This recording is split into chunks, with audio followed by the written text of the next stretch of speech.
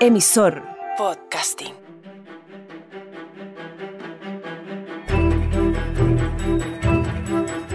Esto es Historia Freak, el podcast donde toda historia tiene algo de historieta. Con ustedes su anfitrión, Joaquín Barañón.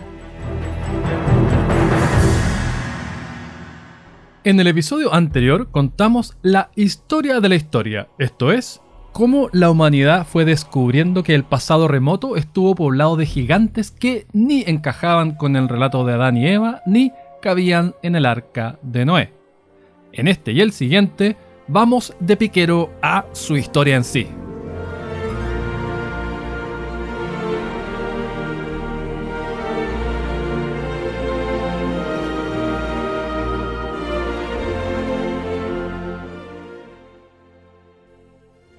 En la década de 1830, el geólogo alemán Friedrich von Alberti descubrió la existencia de tres bandas sedimentarias en el norte de Europa y se anotó con el acierto de caracterizarlas como una única formación estratigráfica. Por su número lo llamó Trias, de donde acuñó la palabra Triásico, el periodo iniciado hace 252 millones de años. La Tierra estaba dominada por un único gran continente, llamado Pangea. La biota estaba muy pero muy mermada a causa de la tercera y más severa de las seis extinciones masivas que han azotado el planeta, provocada por la suma de cambios climáticos y eventos catastróficos de tipo hollywoodense.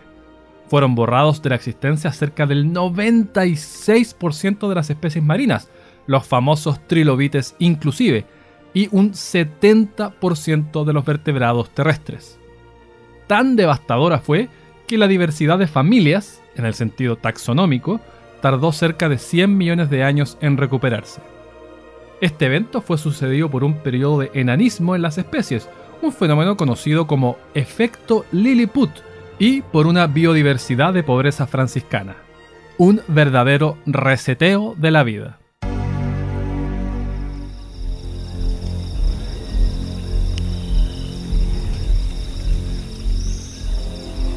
En tierra dominaba el reptil pala o listrosaurio, un vertebrado herbívoro del tamaño de un cerdo que en algunos lechos fósiles llega a acaparar el 95% de los especímenes. Pese a lo que su nombre sugiere, el listrosaurio no era un dinosaurio. Con el paso de los milenios, la vida fue reenrielándose hacia la diversidad natural. Surgieron los rinocéfalos, por ejemplo, un orden de saurópsidos de los que hoy queda una sola especie, la tuátara de Nueva Zelanda. Lo temprano que este bicho divergió del resto de los reptiles queda en evidencia al advertir su más espectacular distintivo anatómico, un tercer ojo. Hace unos 231 millones de años evolucionaron en la actual Sudamérica los primeros dinosaurios, casi casi al mismo tiempo que los mamíferos. Uno de los más tempraneros fue el Eoraptor, o ladrón del amanecer, así llamado por aparecer al alba del Dino Imperio. Vivía en un mundo caluroso, sin grandes masas de hielos polares, aún no existían las flores y Saturno no tenía anillos. Más curioso aún, el día duraba cerca de 23 horas y el año tenía más de 380 días, porque la Tierra giraba más rápido. Sucede que la fricción de las mareas llevaba menos tiempo ralentizando nuestro trompo cósmico. En la época del Eoraptor no asomaban aún esos monstruos que dan miedo, sino que eran animalillos más modestos. Los reptiles más escalofriantes de esta etapa eran los antepasados de los cocodrilos. Emergieron también otros reptiles que, como los listrosaurios o el ictiosaurio de Mary del episodio anterior, no califican como dinosaurios. Entre los más conocidos está el orden de los pterosaurios, del griego para lagartos alados. Quizás les suenen más los pterodáctilos, dedo alado, pero este es solo un género de pterosaurio. Fueron los primeros vertebrados de los que tenemos noticia en conquistar el aire desplegaban alas enormes, conformadas por una membrana sostenida por el también enorme cuarto dedo de la mano. Su cuerpo estaba en parte recubierto de filamentos, parecido al pelo de los mamíferos.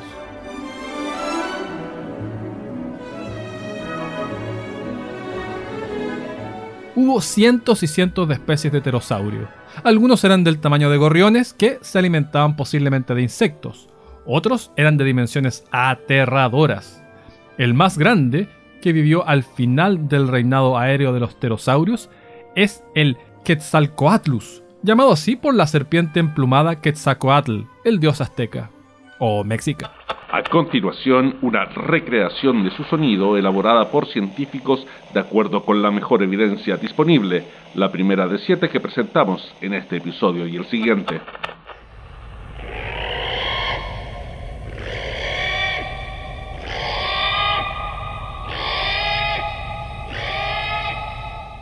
Sus alas medían 11 metros de punta a punta, más del triple que los cóndores más espaciosos. En otras especies de pterosaurio, la cabeza y el cuello medía el cuádruple que el torso, los inigualables cabezones de la prehistoria. Si bien nadie le hacía competencia en los cielos, los pterosaurios debían lidiar con unos bichos similares a las pulgas, aunque 10 veces más grandes que les chupaban sangre con picos afilados del tamaño de jeringas.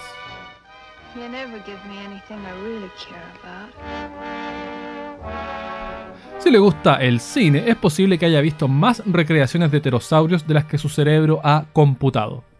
En Ciudadano Kane, ambientada en la década de 1940 en que fue filmada, aletean pterosaurios en una fiesta al aire libre en Florida. Dado que no había presupuesto suficiente para recrear el ambiente tropical en los estudios de Hollywood, el fondo lo completaron proyectando escenas de King Kong del 33 el video disponible en datosfreak.org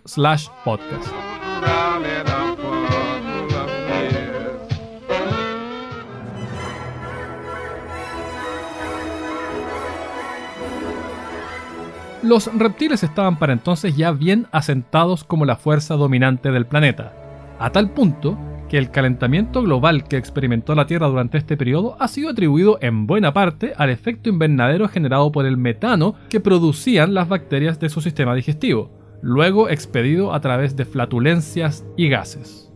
No tan distinto al caso actual, en que el ganado genera un 18% de los gases de efecto invernadero, más que todos los autos, trenes, buses y camiones de este mundo.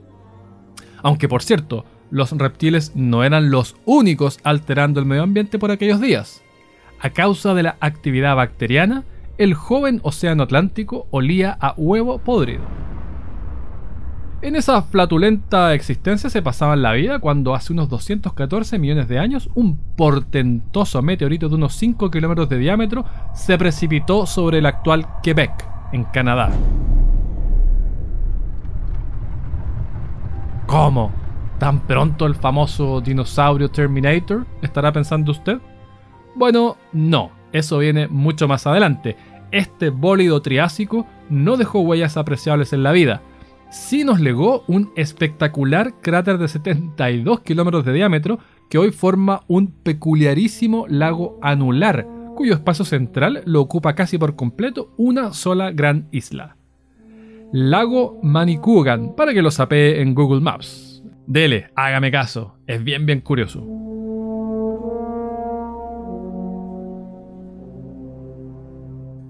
Solo 13 millones de años más tarde sobrevino la cuarta extinción masiva. No sabemos bien qué ocurrió, pero sí que esta nueva mortandad le limpió el camino al subconjunto de dinosaurios que sí logró sobrevivir, como los pterosaurios, por ejemplo. Este nuevo pasaje triste de la historia de la vida delimita el fin del Triásico y el inicio de... El Jurásico.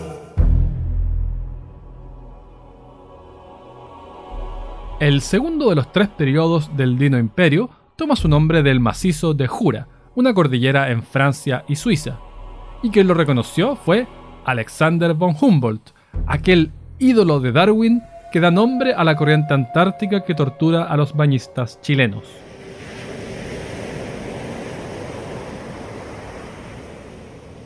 El naturalista reconoció allí una capa de piedra caliza no incluida en la estratigrafía hasta entonces documentada. Jura, a su vez, recibe su nombre de la palabra celta para bosque. El Jurásico no fue mucho más quieto que el Triásico. Hace unos 175 millones de años, Pangea comenzó a fracturarse en varias partes y a sus habitantes no les quedó otra que adaptarse al rancho que a cada cual le tocó.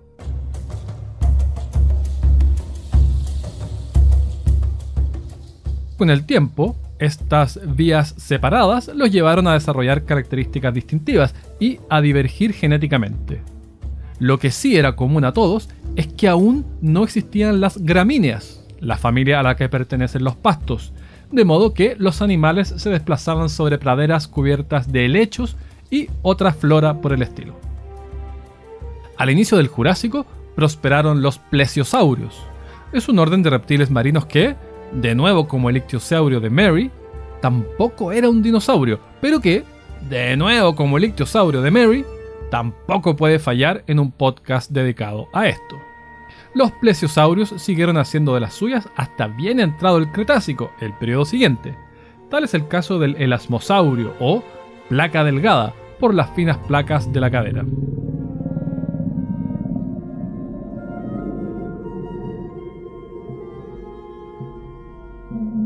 Es uno de los muchos tipos de plesiosaurio. Alcanzaba más de 10 muy elongados metros, como si lo hubieran moldeado en plastilina y luego aplanado. Solo su cuello medía más de 7 metros, el cuádruple que el de una jirafa. Este gran tallarín del mundo animal poseía 72 vértebras, mientras que el de las jirafas, para seguir humillando su carta de presentación, solo posee 7, igual que nosotros. Bueno, igual que todos los mamíferos ya que estamos en esas. Estos son también los años en que evolucionó el anquilosaurio, un tanque de la zoología revestido de una gruesa armadura anticarnívoros.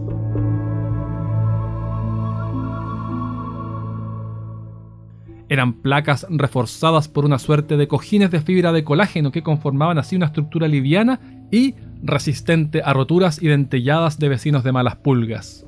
Hasta su cráneo estaba en parte recubierto y las cuencas de sus ojos contaban con un hueso para extra protección. Solo la porra de huesos de su cola pesaba unos 30 kilos. Excelente para la defensa, pero mucho menos para el dino amor. John Long, profesor de la Universidad de Flinders, sostiene que el macho habría requerido de un pene de 2 metros para cerrar la brecha anatómica con la hembra a la hora de copular.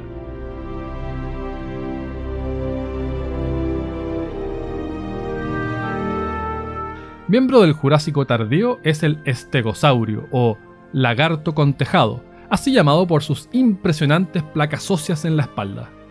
Hasta hacía no mucho se creía que era una especie de armadura contra depredadores, pero no se entendía cómo funcionaba. Evidencia más reciente muestra que el interior de las placas estaba lleno de venas y ahora se piensa que su función era enfriar su tremenda cuerpada. Poseía además una cola con mansas niquepúas en su extremo, no tenía nombre hasta que en 1982 el caricaturista Gary Larson la llamó Thagomizer en un chiste y así nomás quedó de ahí en adelante.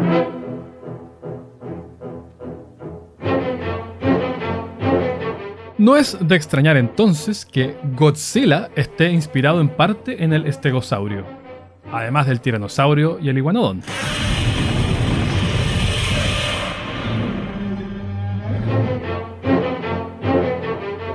Lo que sí, el término Godzilla no guarda respeto taxonómico alguno. Viene de gorila ballena en japonés.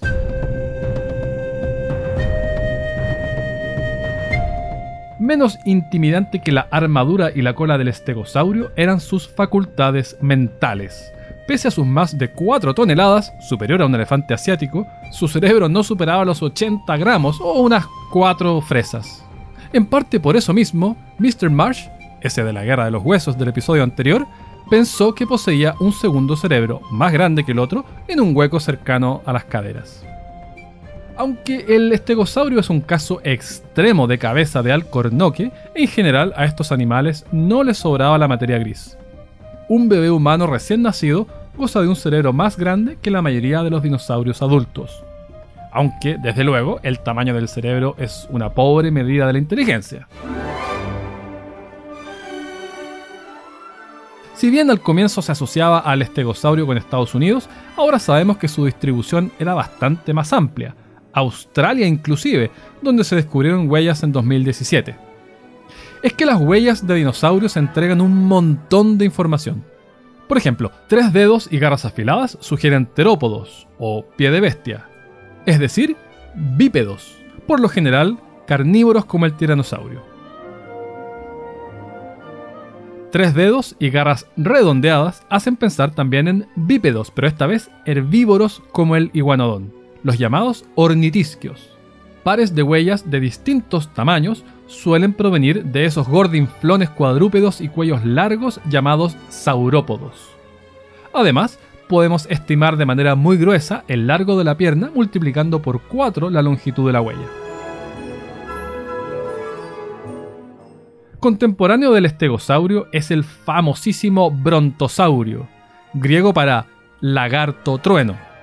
No confundir con el brontomerus o muslos de trueno por sus enormes piernas. Recordará con el brontosaurio los morrocotudos bistecs de Pedro Picapiedra. ¿Qué hay para cenar? Costillas de brontosaurio al horno y ensalada de roquefort. ¿Eh? Este organismo fue descubierto y nombrado en 1879 por Marsh, pero en 1903 se decidió que en realidad era un apatosaurio, o lagarto engañoso. Así que durante la emisión original de los Picapiedras, entre el 60 y el 66, el brontosaurio ni siquiera existía como tal. Además, el primer dinosaurio de la historia del cine, Gertie el dinosaurio, del lejano 1914, era un brontosaurio cuya existencia ya había sido eliminada por secretaría. Recién en 2015, hace poquito, se probó que es distinto al apatosaurio y el brontosaurio volvió en gloria y majestad a los anaqueles de la paleontología. Es que calzar todos estos puzzles en tres dimensiones no es nada de fácil. Casi siempre las piezas están incompletas o gastadas y ni siquiera los más expertos le achuntan siempre. Hasta hace poco, el apatosaurio figuraba en los museos con la cabeza de un camarasaurio o lagarto de cámaras. Al menos el brontosaurio no se hubiese avergonzado de con quién lo confundieron. En una ocasión reconstruyeron una cola de apatosaurio en laboratorio y concluyeron que, al menearla, la velocidad de la punta superaba la barrera del sonido. No todos los científicos están de acuerdo que así haya sido, pero de ser cierto, se habría escuchado a kilómetros. Es el mismo fenómeno que explica el chasquido de los látigos, que solo ocurre cuando superan la barrera del sonido. A continuación, un experimento con una cola a escala y una mandíbula de molde de un hipotético depredador hostil.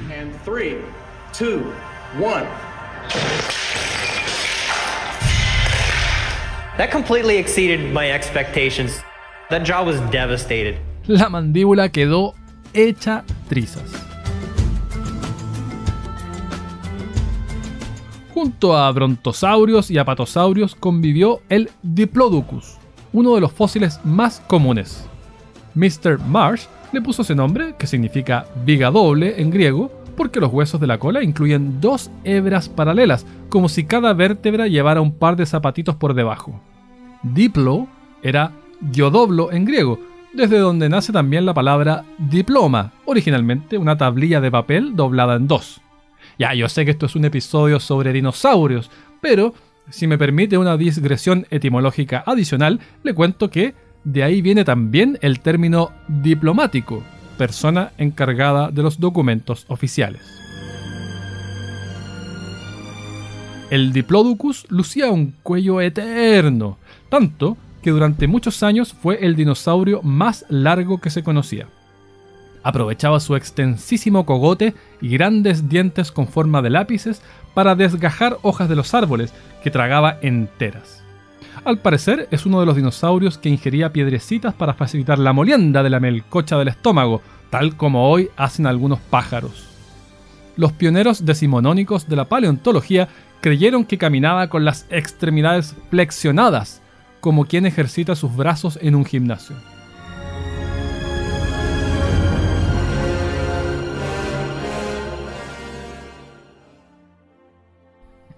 A fines del Jurásico, los pterosaurios comenzaron a compartir los cielos con las primeras aves. La más conocida, aunque no la más antigua, es el famoso Archaeopteryx, o ala antigua, un ave emplumada de hasta medio metro. El descubrimiento de este pajarraco en Alemania en el siglo XIX provocó una tempestad científica.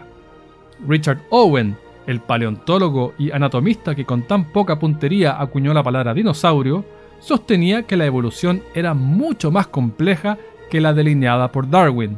El esquema planteado por Don Carlitos requería de un planeta mucho más antiguo del que por entonces se aceptaba, y la evidencia fósil era menguada.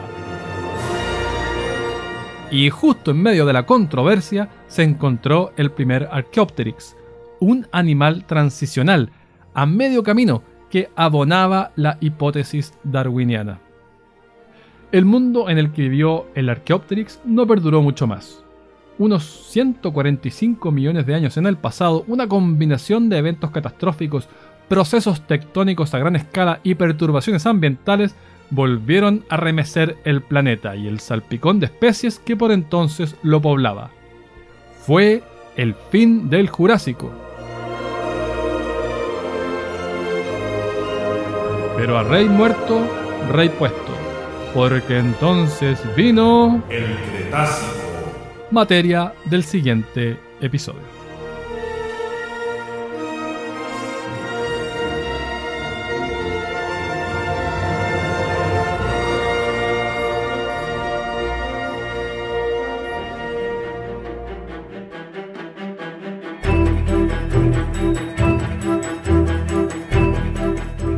Esto fue Historia Freak, el podcast. Escucha este y todos los otros episodios en emisorpodcasting.com. Todas las referencias bibliográficas disponibles vía Amazon en Historia Universal Freak Extendida.